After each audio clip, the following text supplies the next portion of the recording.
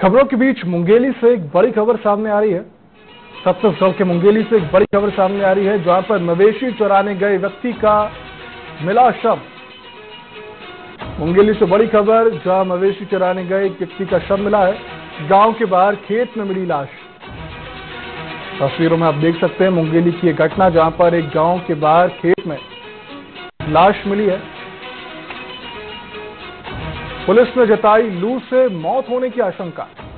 बात कर रहे मुंगेली के गाँव की जहाँ पर एक व्यक्ति की लाश मिली है इसके बाद पुलिस ने यह आशंका जताई है कि लू से, यानी कि ज़्यादा गर्मी पड़ने से इस व्यक्ति की मौत हुई है। मुंगेली के फास्टरपुर थाना क्षेत्र का ये पूरा मामला।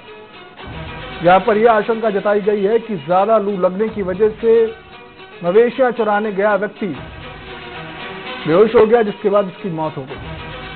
मुंगेली की बड़ी खबर हम आपको बता रहे हैं, जहाँ पर पास्टरपुर थाना की एक घटना, जहाँ गाँव के बाहर खेत में एक लाश मिली, जिस पर पुलिस ने जब जांचा तो यह आशंका जताई गई कि लू से इस ग्रामीण की मौत हो गई है।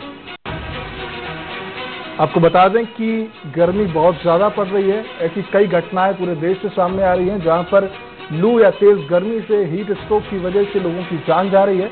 और ऐसा ही यही एक मामला छत्तीसगढ़ के मुंगेली से भी सामने निकल कर आ रहा है, जहाँ पर मवेशियाँ चराने गया युवक ग्रामीण, ज़्यादा लू लगने की वजह से उसे हीट स्ट्रोक हुआ और उसकी मौके पर ही मौत हो गई।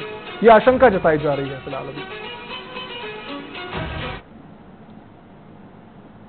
बात कर रहे थे